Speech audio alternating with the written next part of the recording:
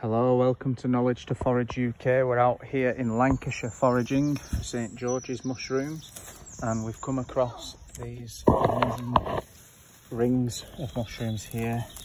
They're coming up in giant clusters and this ring, you can literally follow the ring, go right underneath all this here and it goes all the way around underneath here and then we follow out here and then they go all the way around me that tree over there so I think we're going to get this basket full and this is just one of several rings in this area that we've spotted so we're going to get foraging now aren't we Rama? Yeah. Going to get foraging and get some mushrooms in basket eh?